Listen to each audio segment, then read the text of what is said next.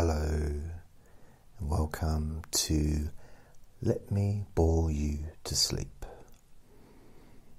My name is Jason Newland, and this is a podcast aimed.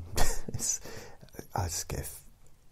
I do these introductions every time and trying to think of new ways to say exactly the same thing. It's a sleep podcast, basically. The idea is that I just waffle on and talk rubbish for about an hour, and you just get bored and fall asleep. That's one description. There's probably nicer descriptions uh, than that. Um, it's also something that people, you know, if they, if you wanted just something a bit silly to listen to, or maybe, you know, a bit of company, you know, just hearing my voice or hearing a friendly voice. Quite, my voice is fairly friendly. I don't Yeah, I don't sound like I'm about to scare you in a shower or something, you know. It's uh, pretty. Uh, I'm not a psycho, that's what I'm trying to say. I'm an, I'm an okay person, kind of. I only listen to this. I was going to say when you can safely close your eyes, but I feel I might have scared people now. Only listen when you can safely close your eyes because um, falling asleep is not a good thing to do if you're, you know, piloting a submarine or something like that, or if you're controlling a one of those little trucks that are on Mars you know, you could not remote control it, and the thing costs like half a billion dollars to send to Mars, and and you end up crashing it into a a Martian or something because you fall asleep. Oh, I actually asked my friend about the tube trains. Apparently, then this is for those that have listened the other night. I was talking about tube train drivers having a stick to hold on to. And I, I thought it was called an idiot stick. But it's not. It wasn't. It was called something else. I think. I thing is, that'd make it more, more a useful uh, paragraph or sentence if I had some more information to give to you, but I can't remember what it's called. I thought Idiot Stick's quite a good name. You know, if you fall asleep while you're driving a train. I know there's the narcolepsy and stuff like that, but technically, you know, I would have thought driving a train would be quite stimulating in a sense of you know, every time you stop at a platform, you have to be looking out the window and make sure that you know it's safe to close the doors and everything. And each stop is there's only maybe a couple of minutes, sometimes a lot less between stops, unless you're on the Northern Line. And with my recollection of the Northern Line, you could be on yeah, it takes about six days between stops. So what I'd done, what I'd done, what I did, what I have, I'm not sure if I mentioned I purchased some soundproofing foam to put on the walls, and that was last week sometime. You know, Wednesday probably to be fair, yeah, last Wednesday, and they've arrived today, and I put them on the wall.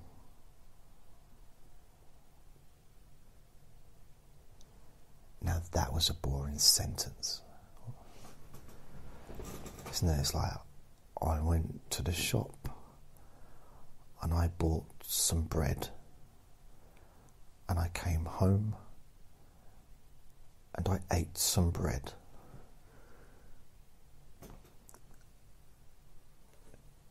See these phone things there. How many did I get? One, two. What's eight? One, two, three, four.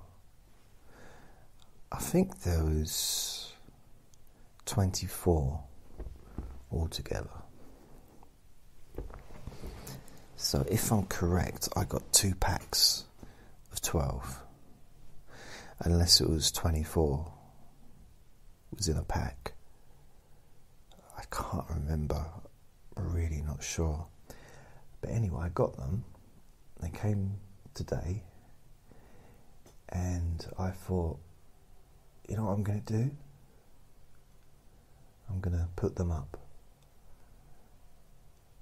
So this morning, but it was, I don't know what time it was. I need to get a clock and stick it to the to my front door so I can see what time I'm being disturbed.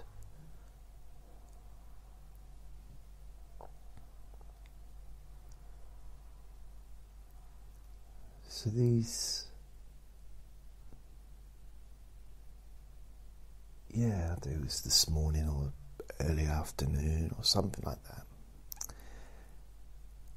And they came in a package, just like a plastic package. So I'm definitely not going to buy any sex toys from that company.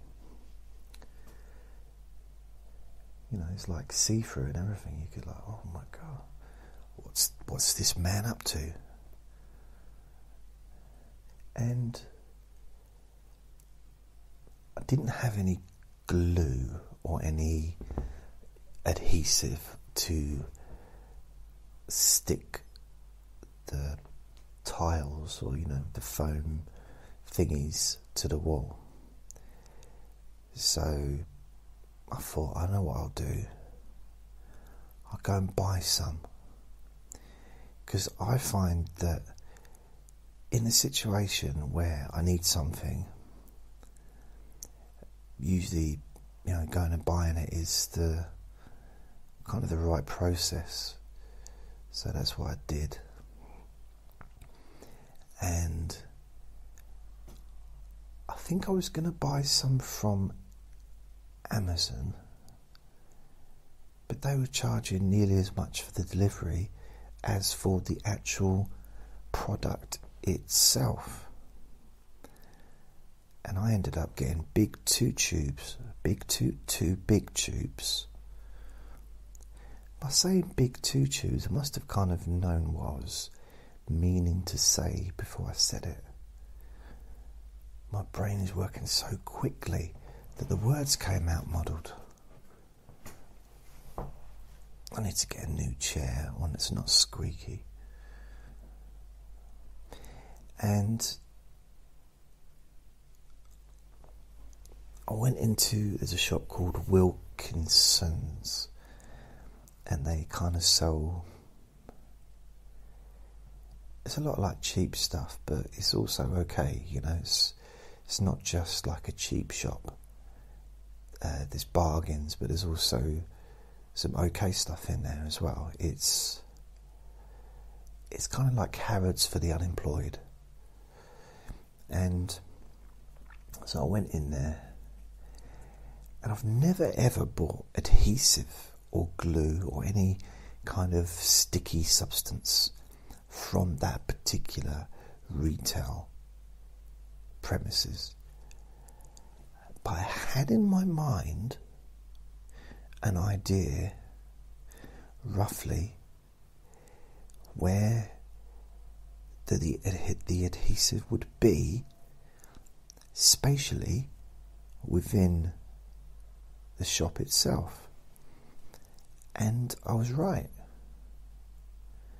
It's not a case of like, I bet it's inside the shop. No, that because that would be a bit obvious. But I did, you know, I thought, I know I'm going. Because before that, I went into Iceland and uh, I was having a meeting at four. So I went to have a. I went to Iceland first, but the bus. Oh, I got the bus, and so I had a bath, had my breakfast first, then had a bath, and then I thought, oh, I better, better walk quickly. Not too quickly, but not enough to get all sweaty. I kind of I walk fast enough to get where I want to get to quicker and maybe raise my heart pulse a little bit, but not fast enough to leave me with sweaty balls. You know, that's kind of the the two the the, the line, the line. Sitting on a bus with you know sweaty bits isn't it's yeah. It's okay if I'm coming back from the gym, but oh, it's even okay coming back home from anywhere. It's a bit. I think having sweaty balls is it's a bit like if you've been in a rain, coming home with wet clothes. Although you know maybe not ideal, but it's, it's still a lot better than going to work and getting there with wet clothes. I'm not talking about wetting yourself. I'm talking about the um, yeah, the rain. Although I used to get to work, I remember years ago when I was younger. I decided I was working in this insurance company, and I and I, I, lived quite a long way away. That was a weird noise I made there, wasn't it? I lived quite a long way away from where I worked. Not initially, when I first started working there, I lived around the corner and I could go home at break time, at lunchtime.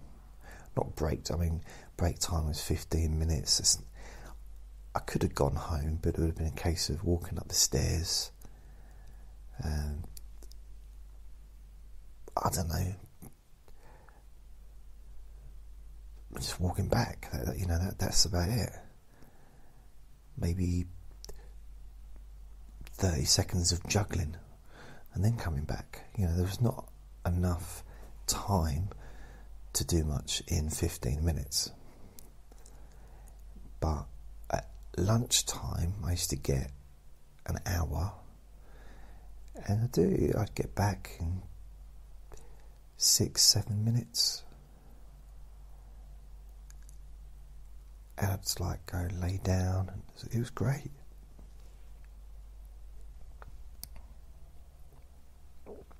What I always found though is the closer I live to where I worked, the more often I was late.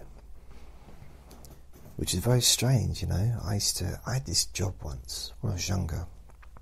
I was eighteen. And this job was in a pub, and it was a weird, weird job. It was, and I gave up a job that I shouldn't have done. Really, it's. I think I think what it was at that age. I think I just wanted to try new things. You know, I wanted to experiment, wanted to instead of travelling the world, I thought, oh, I'll get a job in a pub. And if I'm honest, I think at the time, I probably thought that it might be a good way to meet people and maybe uh, get a girlfriend or just make new friends, you know, learn some social skills. Didn't work out that way although I did make one good friend um, at the time, and he, yeah, I think he was pretty much as weird as I was, so that's probably why we got on. And also, I ended up living in the house of some of the customers. Not, I don't mean like lots. I didn't. They didn't share me round. I didn't.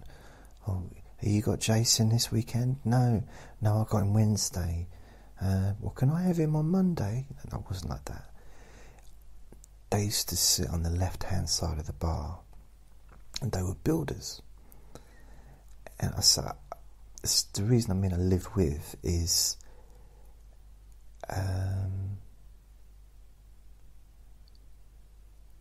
two of them lived in the house. One of them was the landlord who owned the house, and two of the other people that used to come to the bar, and they were builders, I think they worked for him or with him, they also lived in that house.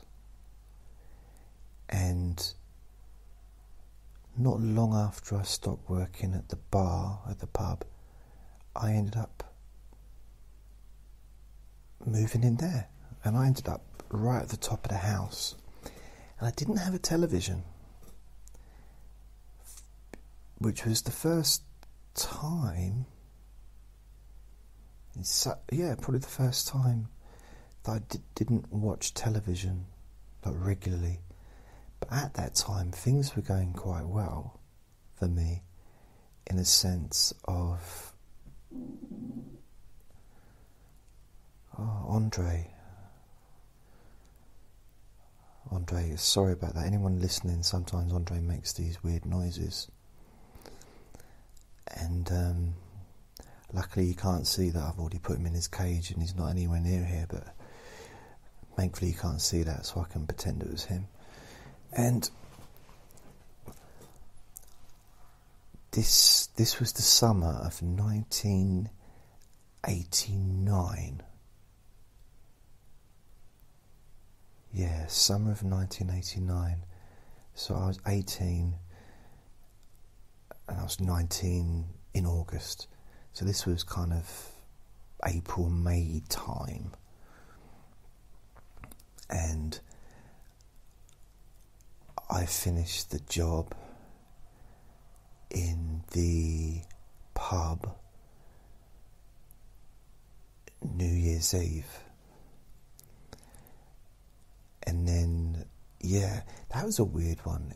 They so I, I know the tills would have been short because of me, but only because well, I don't know about short, but they because I was given the wrong change out probably and stuff like that.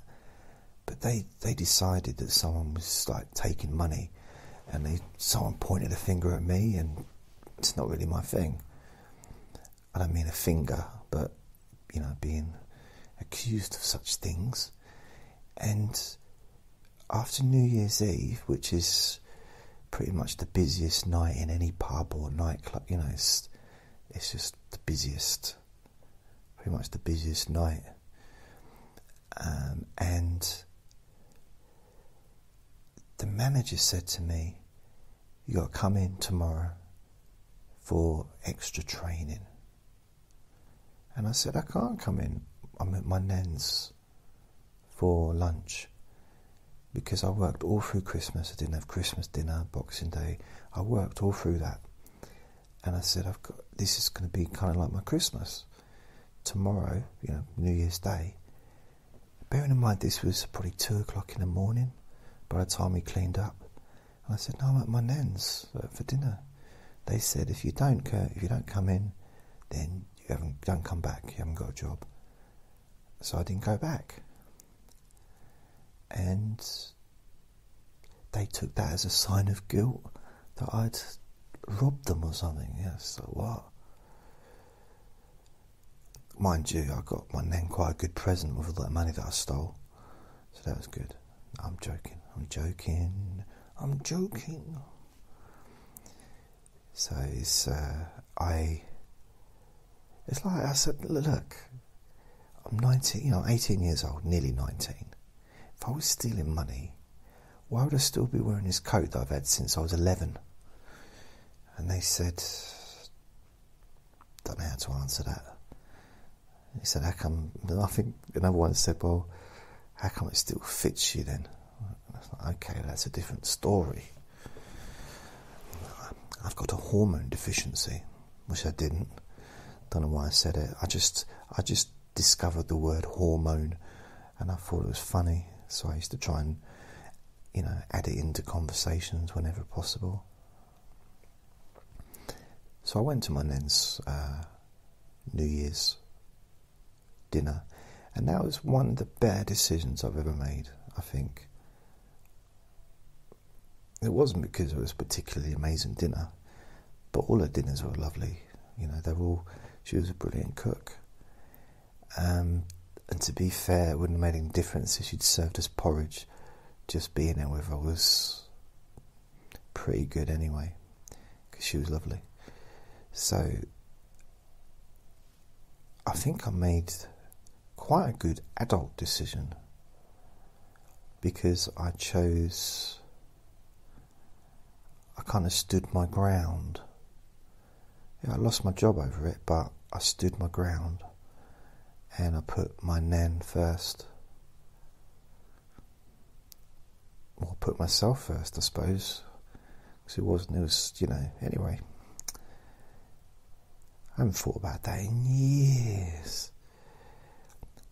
But I was the worst barman or bar person. Back then it used to be called barman and barmaid. That's that were the those was the official terms of those jobs. Headmaster, headmistress, policeman, policewoman, or PC, or you know that's those were the terms that people used. But I know that we can't kind of use those terms anymore. But no one used those terms in a sexist way. That's the thing. It was just because those was the terms that people used. It was just how we were brought up and taught. This is that's that's a nurse, that's a doctor. And nurses um, are women. Women are nurses. When clearly men can be nurses. And even then, men could be nurses, but there wasn't probably many of them. I thought about being a nurse. I like the idea of caring for people. But really, I know it might sound weird, I don't always find it easy to care uh, when someone's not. I've known what sort of word. When someone's really not in a great place, I find the. I don't like to think of it as compassion or caring or empathy, but something happens inside me. And I quite like that. I don't like the feeling, but I like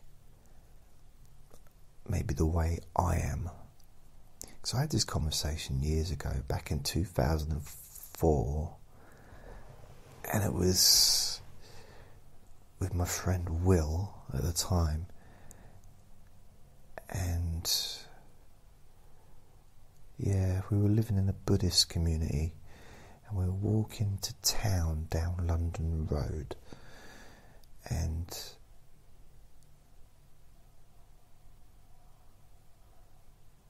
I couldn't tell you the name of my last girlfriend, but I can remember that conversation. I think we were talking about chess because I lived down that road. At the, no, maybe no, but I, was, I went through this little phase when I was. Uh, I bought an electronic chess set, like one of those computerized ones. It wasn't expensive, it was like thirty or forty pound or something, or twenty nine pound forty two. I don't know. Um, and I decided I was going to be a, a chess master, and I was going to learn every move, and I was going to be the best chess player ever. And uh, I think my friend Will said,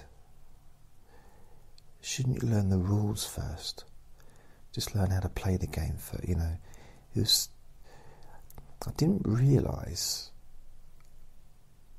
um, how pretty amazing he is, or he was at the time. He's still he's still around, but he's uh, he's uh, a, a, Buddhist order member, so he's been ordained and everything since then. But he's a pretty amazing person, actually. But the last conversation I had with him was when we was in the Buddhist community and I was upset about something, and so I was sitting downstairs with Will. I was sitting facing him. I find that's probably the best best communication way, isn't it? If you look, not necessarily look at the person, but at least be in the same room, unless you're on the phone. Skype wasn't about that back then. You may say, well, you live in the same room, why would you Skype? I have. I've Skyped people in the same house that I've lived in. It's uh, I've phoned people in the same room. It's room, not womb, room. I wasn't a twin. I used to think that I was a twin. And dad pointed out it was a mirror. No, I, I used to think that I was like there was something missing. Like I'd, you know, that kind of separated at birth feeling. But as far as I know, I wasn't. Although twins do come in the family, and also ginger hair. But I know we're not really talking about ginger hair, but um, my nan's brother, Anthony, he had ginger hair. I mean, not when I met him, he was grey, he was fairly elderly. He was younger than my nan. Oh, no. Yeah, he was younger, a little bit younger. And apparently he had like, proper ginger hair. And because my nan's side of the family are Irish, both her parents were Irish and then before then, you know. And the thing is, my nan was born in England. She was born in London, East London. She was a proper Cockney. Then she moved to North London. I think maybe after the Blitz or something, because the east, the east end of London was pretty much uh, a lot of it was destroyed during the war, and I'm covering a lot of subjects here. And then she, he had a little bro, yeah, her brother and my nan were brought up by two Irish people, both um, Irish mother, Irish father, and they both obviously, well, had Irish accents because they were from Ireland and then her dad used to work on the roads. So I don't know if it was like building the roads or something like that. You say building roads, it sounds like some kind of Lego, doesn't it? But building a road, like Fraggle Rock. Do you remember Fraggle Rock? You know, one thing I remember from Fraggle Rock is the the the thing. Remember the just the one saying the trash heap has spoken. That just uh, reminds me. I used to love Fraggle Rock. The thing is, I used to like it, and it wasn't really aimed at me because it was on when my brother was young, so I used to watch it with him, but I wanted to watch it anyway. Just like the Muppet Babies. That used to be on in the 90s. I was in my 20s and it used to be on Saturday mornings and I used to love it. I could even sing you the song. Muppet babies, do do do do do. Muppet, Muppet, Muppet, Muppet,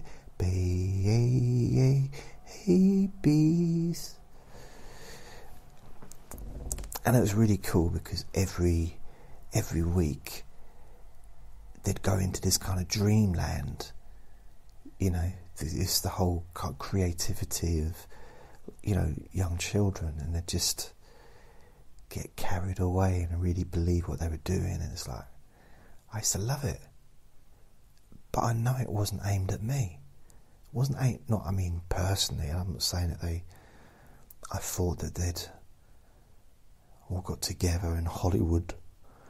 We got make this cartoon. Mr. Henson. There's this bloke called Jason, and he's uh, he really liked the Muppets,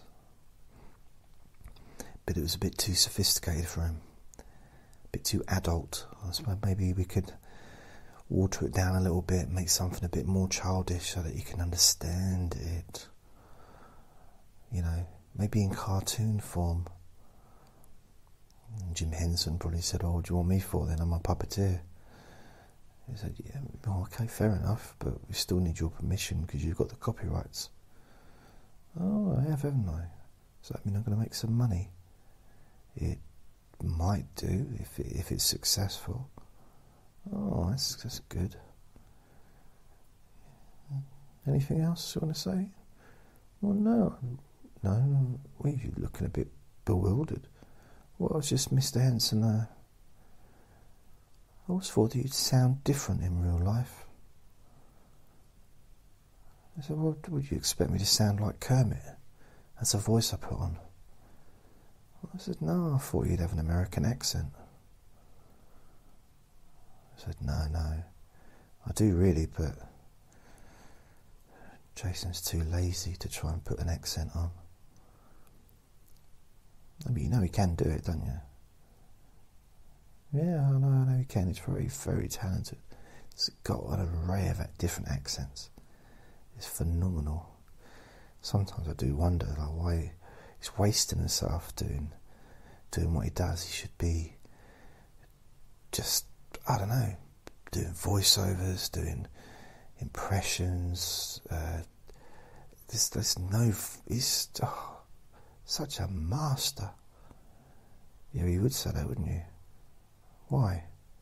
Well, it's, it's you, isn't it? You are him. Oh, don't go through that again.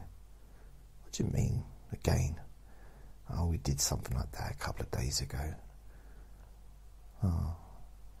Yeah, it's supposed to be repetitive, though, isn't it, this thing? Yeah, I suppose so. Oh, yeah, true. It is. It's kind of a win win situation, really, isn't it? Because whatever I say, if it's boring, then it's ticked the box. And there's no other insult you can really give to it.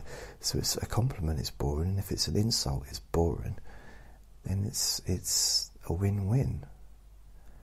No one's ever going to say, "Wow, that was exciting." That was, oh, I wasn't it edge of me bench listening to that. It's like, oh, the, the hairs on my toes were standing up on end, wondering what's going to happen next. No, no, no, no, no, that's not going to happen. No, no. No, no, no, no, no, no. Before I got the job in the pub, I uh, worked in this factory putting electric meters into boxes. And to give you an idea of that memory, I lived in this little room in a house full of women. I mean, everyone that lived there was just um, a rental, and all the other rooms in the house were rented by women, and the landlady was a woman. Or should I say, the landlord was a woman. And they they made a bit of an effort with me to sort of get to know me a bit, and to, they kind of made me feel welcome, and um, I kept myself to myself. I tried to uh, generally, and I was working long hours. I did a lot of overtime, but I just remember. I remember this. Uh, a couple of things in there is we were standing around on the second floor, and I think it was just before my bedroom, just before when my bedroom was. And I think there was me and maybe the landlady and maybe one other person, maybe two.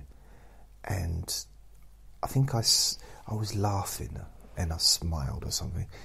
And the landlady said, You should do that more often. I said, What? She said, Smile. She said, You're always so serious. You never smile. I said, What? She said, Yeah. Because we've been watching Hale and Pace on television. And again, I'm not even sure if I had a television there. Which would be weird. Why wouldn't I have a television? I was earning enough to rent my own flat, and technically, I probably was earning enough to have my own mortgage because I was working loads of hours. It was it wasn't it wasn't wasn't a bad paid job, but um, didn't know what to do with my, my money at the time. So I just wasted it on stuff. Not sure what, I can't remember. What if I to chuck pound coins into the sea? Probably not. So I was watching through the doorway with all the other people in the house. We were kind of standing in, kind of in the door, not in inside the door, because I suppose there are some doors that you could fit inside if they were hollow, but that you know it's a big door, isn't it? The size of a tree. Technically, you could say you could say a tree is a door if it's made of wood. Well, most trees are, aren't they? Um, but if we were standing inside the bedroom watching Hale and Pace on television, and they were a comedy, comedy act, and they were really, really popular in England back in the 80s, uh, maybe even the 90s as well. I can't remember how long they kind of were about for, but they were like top of the game. You know, they were the biggest comedy act at the time, and there was there was just this. There's two sketches that had me and just couldn't stop laughing. One was oh, in a, a hospital, and there was a man in a hospital bed, and he was in the he basically just had really bad breath, and that's why he was in there. And the nurses and the doctors all had gas masks on. just, it was really silly. But it was I was very young, but I did find it hilarious at the time. Um, you had to be there. Some, you know, I'm not describing it in the best way. You know, I'm not doing any justice to them, but they were really funny, funny and there was another one, another sketch, and um, someone was in need, basically, of an ambulance. Someone was on the floor, they collapsed or something in public, and someone was shouting out, "We need a doctor! Is there, a doctor here anywhere?" And there was probably like twenty people surrounding this person, and one of the comedians, he's like walks through. Said, uh, can you let me through, please? Can you let me through? Let me through. Everyone like parted out of the way so we could get to the the patient on the floor. And he just stepped over and carried on walking. So that's something that would have fitted right in with Monty Python, I think. It was that kind of uh, visual absurdity kind of thing. But I found that funny. It wouldn't be funny if it was real life, but um, obviously, most things, not many things are that funny if you take the humour out. But uh, obviously, that would make sense, wouldn't it? I still think the funny, one of the funniest things that ever happened to me, one of the things that I found the most funniest, and I've talked about this before, was Andre was my boss, not Andre the Ferret, my son, but I named him after Andre, who was my best friend when I was in my 20s, and he's one of the closest friends I've ever had. And uh, so I named Andre after him. Well, he was my boss at the time, and he was gone somewhere, and my friend who I was working with, Terry, came in and he'd just gone off as well, and he came back. Uh, so I was waiting around for him to come back, and I said to Terry, "Have you seen Andre?" And Terry said to me, "Oh yeah, I just passed him in the toilet." I was practically rolling around on the floor. At one point, I thought Terry was going to punch me because he seemed to be getting really annoyed with me. But I found it hilarious. Just I got this visual of him pooing out Andre, and just, just I passed him in the toilet. Just I couldn't stop laughing. It, it there really is a tickle bone, like you know. I think within all of us, where it just gets tickled, and then not obviously on your elbow because that's the tickle bone in your elbow. That's not that's not the thing, is it? But you know, when something just tickles you and just like it's try try not to laugh and it keeps coming back and it keeps coming back and it keeps coming back. Like no stop laughing. And um, yeah I've I quite like that when I do that with people, sometimes, sometimes I'll, uh, especially if the person's really serious. I've met someone, maybe at work, and they're really serious, and I'm thinking, oh, I had a girlfriend that was like that once, and I really liked her, but she was really friendly, but I never heard her laugh. You know, not really laugh, and then um, I don't know if I was in bed with her. I'm not. Don't worry. I'm not going to say. First time she saw me naked, she couldn't stop laughing. Um, because I don't want to talk about that. But I was just talking to her like a normal conversation, and I don't know if we might have been in bed or um, we might have been in the middle of doing something, I can't remember.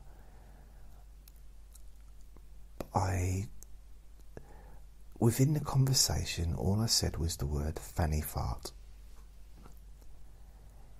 And she could not stop laughing.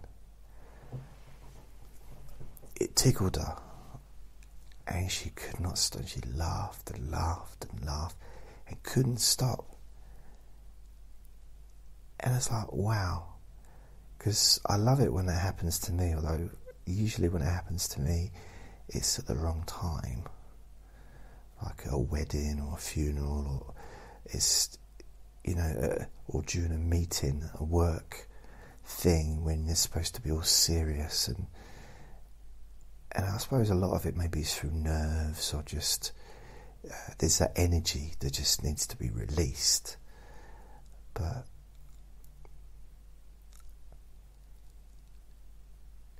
I mean, I went to a funeral. I can't believe I shouldn't be talking about funerals, but anyway, I went to a funeral a few years back, and the or- the organist who was playing the music sounded like he was drunk. I'm not even joking. If I played you back, if I'd have recorded it and played it to you, you'd laugh. You know, you'd think, or you'd all think, how, what? You know, and the music was off key, it was all over the place.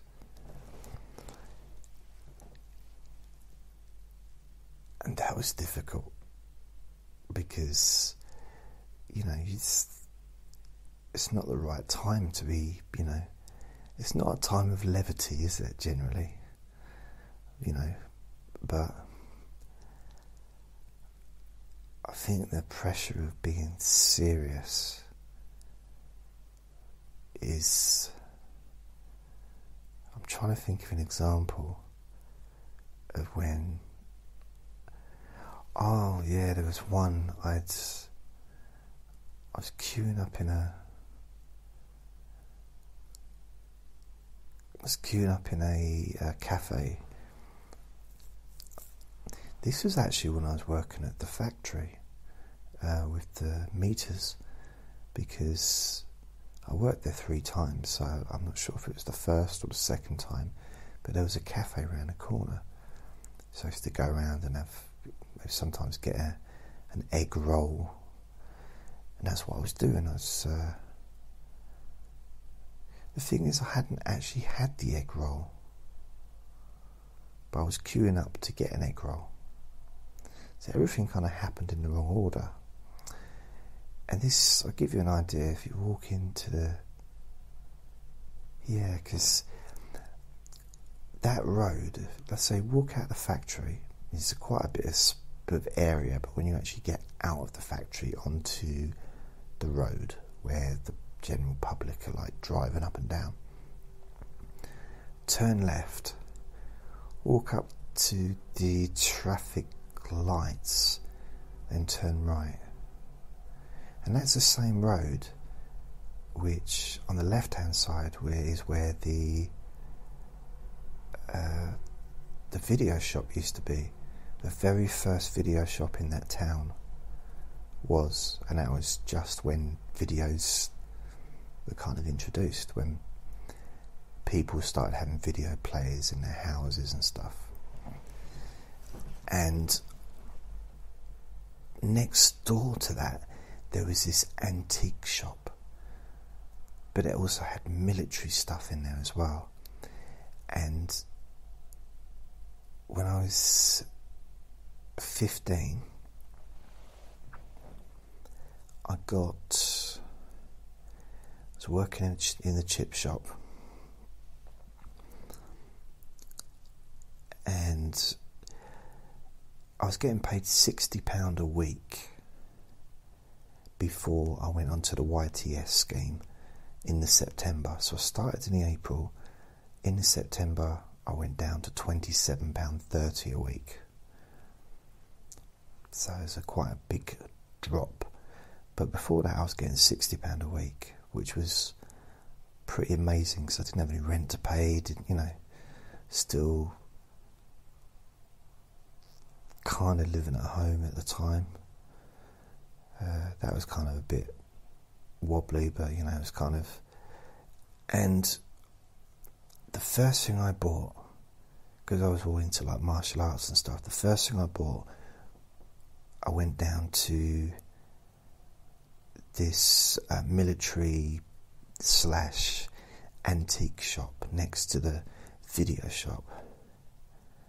But I'm not sure if the video shop was still down there though, because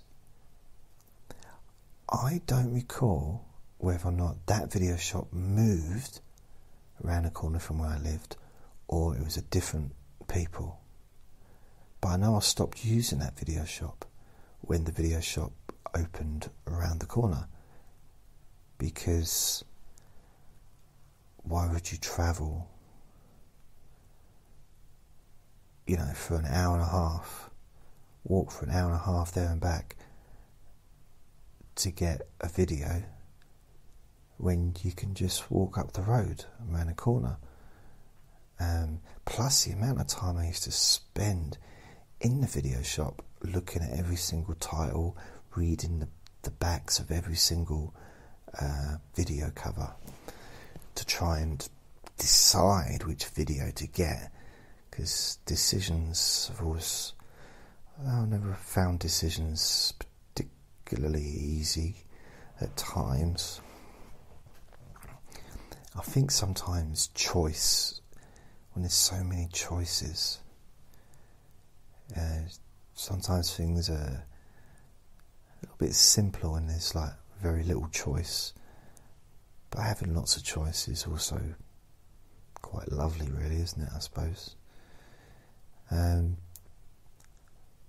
but next, so but at the time, that video shop might not have been there anymore because it did move, or it closed down at one point. I'm sure. Well, yeah, it must.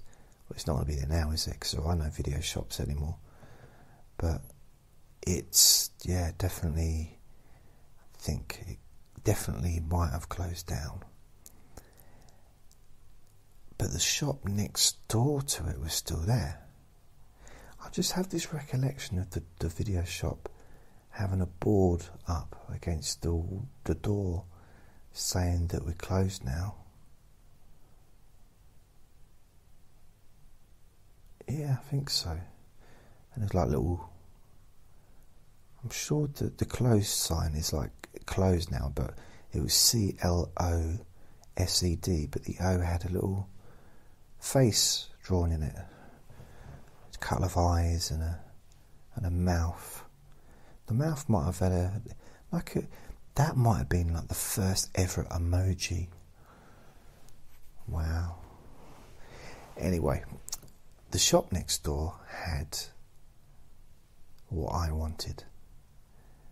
And I'd already decided what I was going to get with my first week's wages. Went in there and I picked up a samurai sword.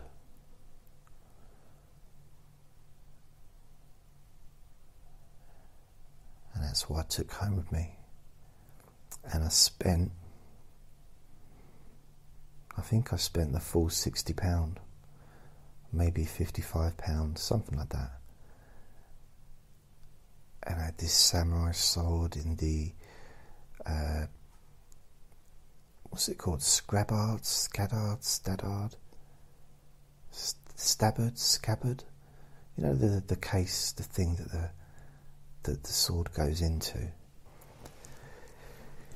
And I was so pleased. I always wanted a, a sword.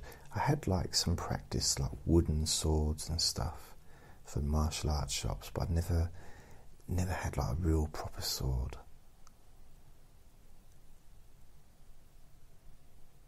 and I ended up selling it back, I think, or to someone. Can't remember who I sold it to, but I think once I started earning twenty-seven pound thirty a week, I needed to sell it so I could buy some ice cream or something.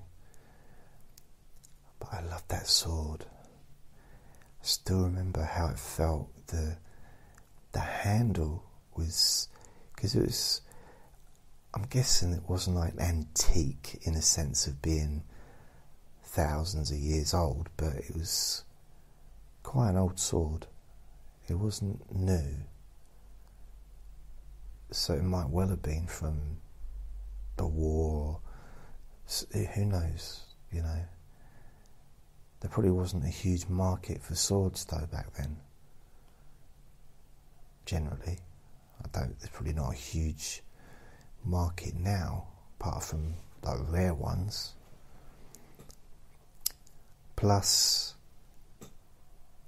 you know, nowadays a 15 year old couldn't walk into a shop and buy a sword, probably. You may say, yeah, but some 15 year olds, they looked like adults. You know, I didn't. I probably looked about 13, 12. You know, I didn't, didn't look. My voice had broken. But luckily it fixed, so we're all good now. But I remember when I was 13 or 14, can't remember that kind of age period it's quite a, a slow developer, really. I still haven't finished, I don't think. I hope. And I used to come down in the morning for breakfast and my voice would be croaky and I'd be like, morning. I try and make it as deep as possible. And like, and they'd say, do you want, I'll be asked, do you want um, cornflakes or Rice Krispies?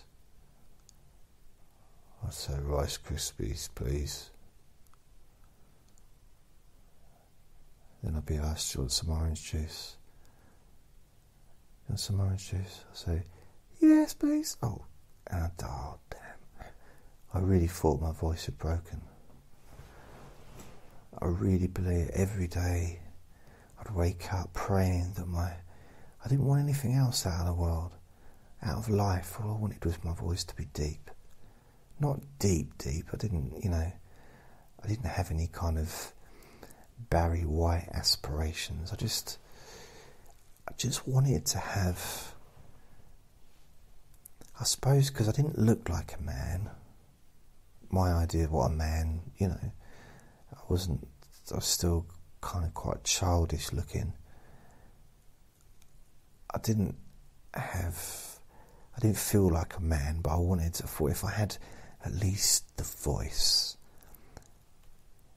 so I could walk around talking like this all the time, and then people would. I don't know. I just wanted it. It's one of those things. I wasn't.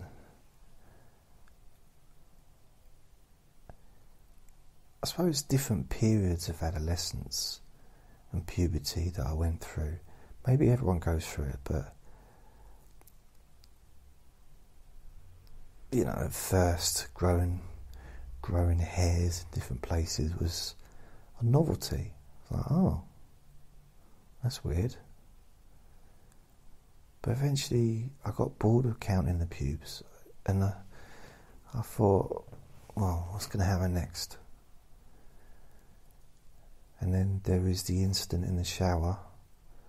I'm not going to talk about it, but um, I was just doing what I always did for the last six months or so, and then something happened that hadn't happened before, and uh,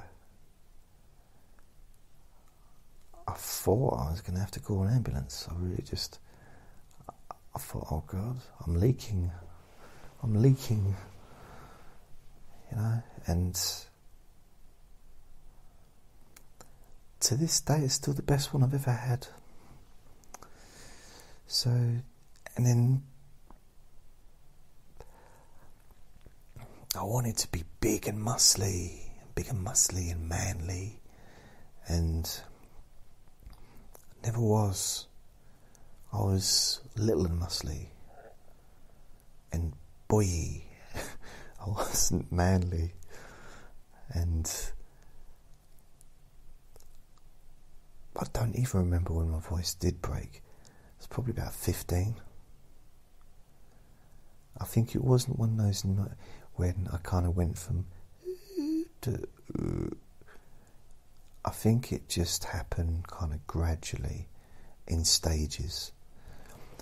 So I went from sounding like a girl to sounding like a woman to sounding like a woman that's been smoking for 40 years to sounding like a teenage boy to eventually sounding like a young man, which is kind of what I've been kind of stuck with. Although I know I don't think many people sound the way they look anyway, but it's hard. I find it hard to judge someone's age by looking at them, but by hearing them on the phone, because some people sound old. I've spoken to people and they sound like they're not old, but they sound like they're like adults, like in their 40s or 50s, and you find out they're only 17. And you may think, well, why? What am I doing talking to 17 year old boys?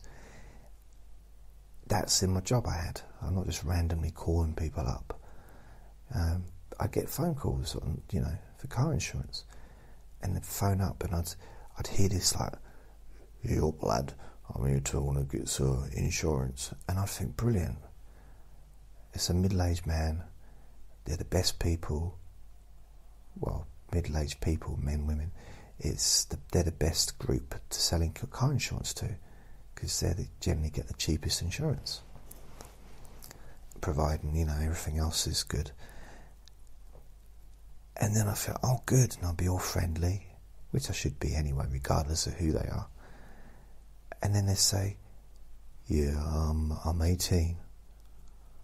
So, oh, okay. And then I have to go through the quote, even though it's pointless, because either they were going to get turned down by the insurance or the insurance was going to be like £20,000 or something ridiculous like that. Because and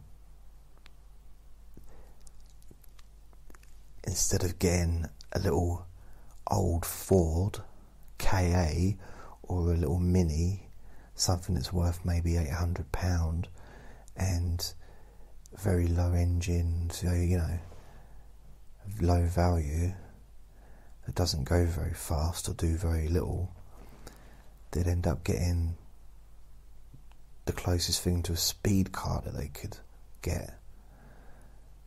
And they wondered why they couldn't get insurance or get decent insurance that was cheap. Unfortunately, we couldn't sort of just say, oh, sorry, can you call back when you're an adult? In 20 years, when you can get good insurance for you then, good prices. I did a quote for someone once, and they had a. I think they had a Mercedes, and he was 18, and he had a Mercedes. And I just went through the whole thing. I didn't bother really chatting to him. I was like, this is just another wasted 20 minutes. Because because that's I kind of you get used to it after a while. You start expecting because it's some Mercedes, eighteen year old. When you get such a, if you do get a quote, the price is going to be tremendous. I was amazed. We did get a quote. A price came up, and I said something like, "Okay, this is going to cost you." Uh, like eight eight thousand pounds for the insurance. And he said, Oh, okay then. I said, What? I said, Yeah. He said, uh, So you want to pay it monthly, obviously? I said, No, no, I'll pay it now. And then he, and then, then he shouted, Dad! and his dad paid it on the credit card. So uh, it just shows you that you can't, you can't always, you can't judge. You can, it's natural to judge, but we all do it. It's just human nature, isn't it? But I did find it very, very interesting how that worked out, though. Because like I'd already predetermined that it was going to be a waste of time, but it wasn't.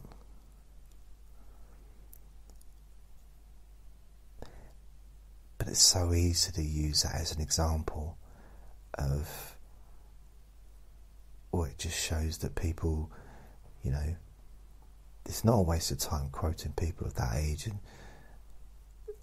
but actually, in reality, it was in the job I had because ninety nine point nine percent didn't buy anything because they couldn't because who can afford that kind of money for car for car insurance? It's just it's ridiculous. People used to get sacked for that, though. You know, when I first got there, old uh, Anne, not Anne Summers. What's her name? Anne.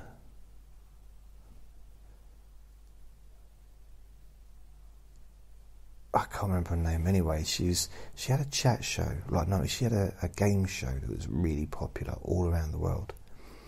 This was the early two thousands, two thousand and one, and I was in training, and they played us a call of someone who, that we shouldn't do, and basically how we shouldn't treat the customers. And uh, this and this is a call from a, someone that was working there that had just been sacked for what he did. So they were sort of letting us know that you cannot be rude to the customers, otherwise you get that's it, which is fair enough. You know, it's it's uh, should be respectful to the customers, and basically what he did was the customer was being rude to him and just being awkward with every question. Some people would do that. They'd phone up and they'd say, "Yeah, I'd like a quote." Okay, I just take take your name first. What do you want my name for? Well, we can't do the quote without your name. Well, just give me a quote. No, I need your name. Okay, your name, your date of birth. What do you want my date of birth for? Date of birth. It's like, and they go through every single question. And they say, Is this going to take long? Why's it taking so long? Well, if you answer the questions as I ask them, just answer the questions and it will be done quicker than if you don't answer the questions. But again, that can be sound rude, can't it? Anyway, this this person, this man on the phone was being rude, like just awkward all the way through. And uh, the in the end, the person didn't get a price, so that the, the computer system refused to insure this man uh, due to, I don't know, maybe uh, whatever reason, I don't know why. It can be a multiple, it could be convictions, it could be uh, the type of car, if it's uh, import, if it's, you know, it's lots of different things. And the bloke started complaining. He said, What do you mean you won't insure me? I've been on the phone for 30 minutes now and you won't insure me. He said, Why is it? And uh, the bloke on the phone said, Sorry, sir, you are the weakest link. Goodbye. And he put the phone down on the customer. The customer phoned back, and all the calls are recorded which is how they managed to play us the call. Otherwise, I mean, didn't get an actor to reenact it. Um, and even the the managers that came in sort of told us not to do that. He said we were laughing when we were listening to it, but we had no choice, you know, because it was funny, but it's you can't do that. You know, I mean, if you imagine if you was in a supermarket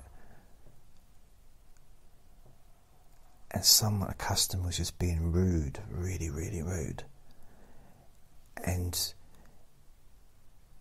you you put a, you put a cake on their head, like a big chocolate cake, and just squashed it in their face or something.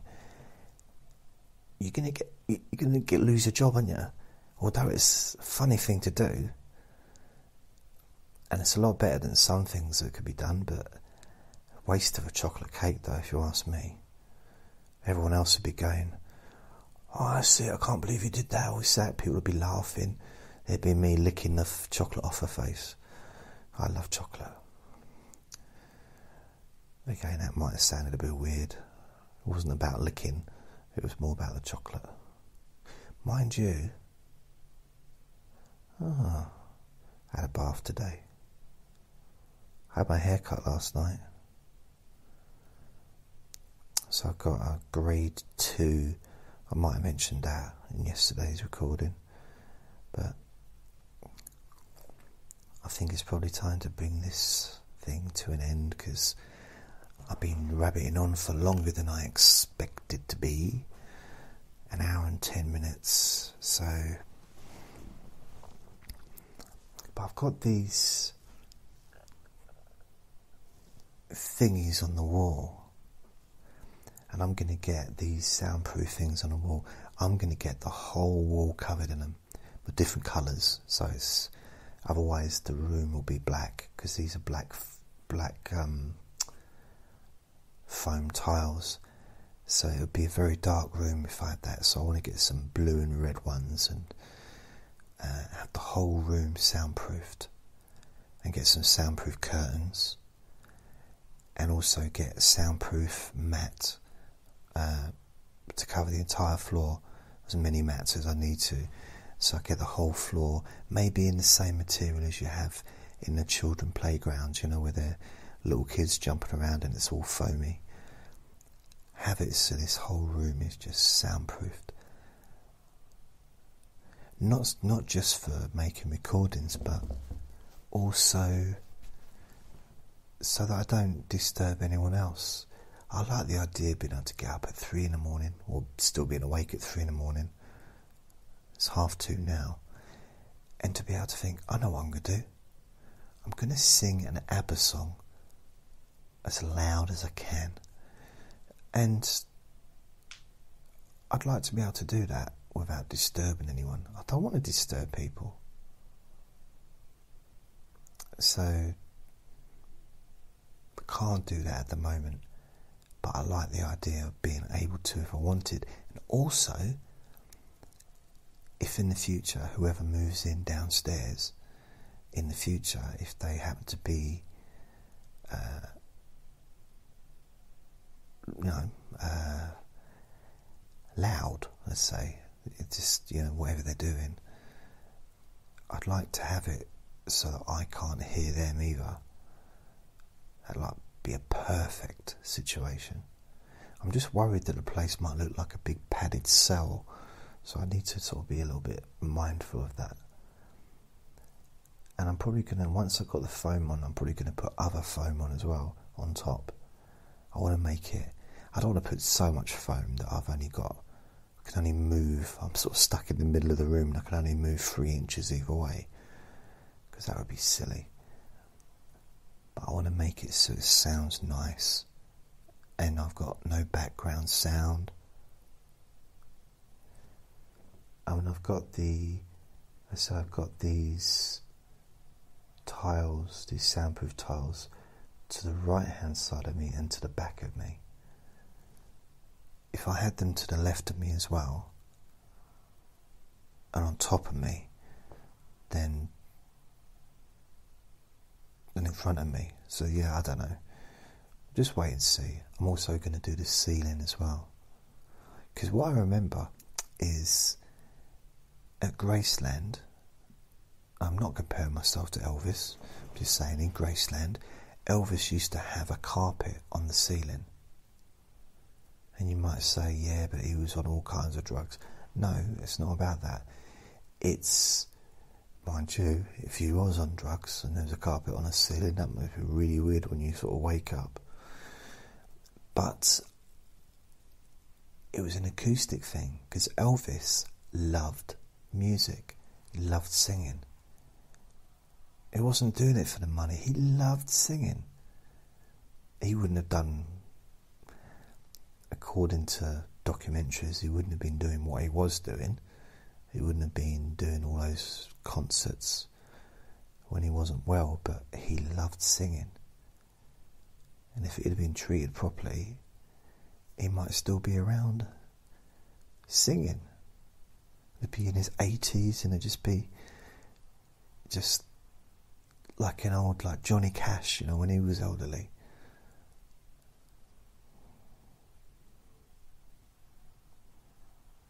Except a sexier version.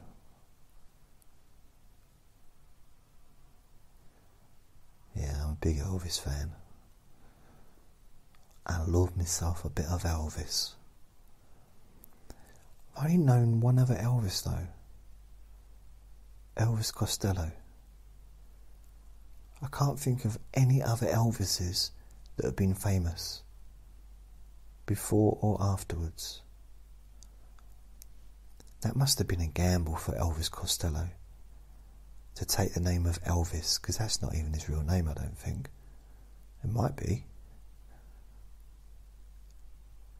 But to, to have that name when you, the most famous singer, pretty much of all time, in the West anyway, is Elvis Presley.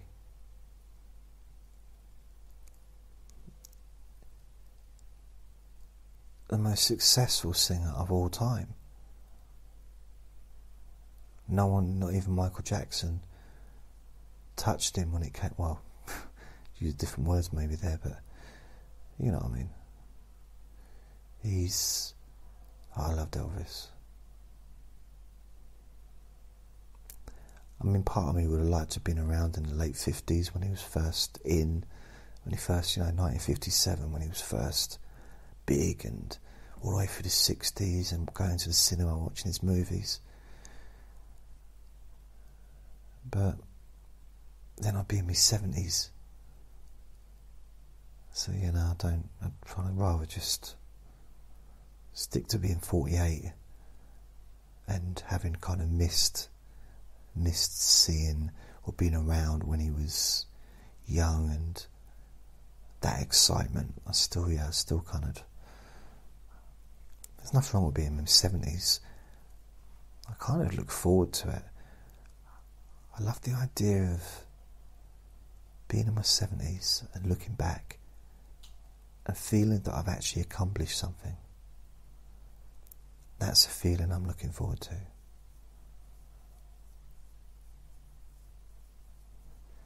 Anyway, I've talked for way, way too much time. I'll speak to you later. And remember, you deserve to be happy. And be kind to yourself. And I'll speak to you next time. And if you are still listening, you can like my specific Facebook page that I've got, which is Let Me You to Sleep and join me and uh, the other people that like these recordings. Bye for now.